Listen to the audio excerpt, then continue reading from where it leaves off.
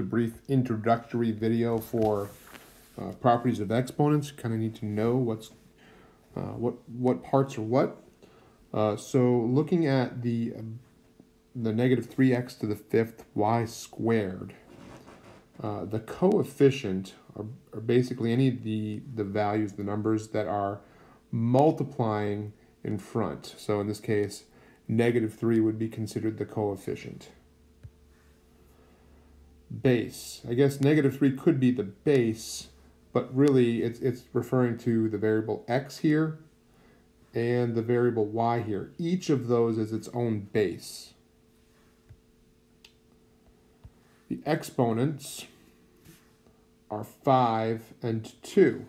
And also not shown would be the exponent for the 3, or the negative 3, which would be to the first power. It's not shown. Uh, so if, if something doesn't have an exponent, it is to the first power. And the last piece, which we won't spend much of any time on, is the degree. Now what we're going to do to find the degree is we're going to take the um, the exponents and we'll add them together. So 5 plus 2, which is 7. So the degree of that monomial is 7.